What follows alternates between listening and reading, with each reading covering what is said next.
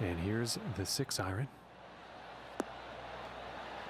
And that, ladies and gentlemen, is the holy grail of golf. Getting that hole in one. Amazingly well executed golf shot.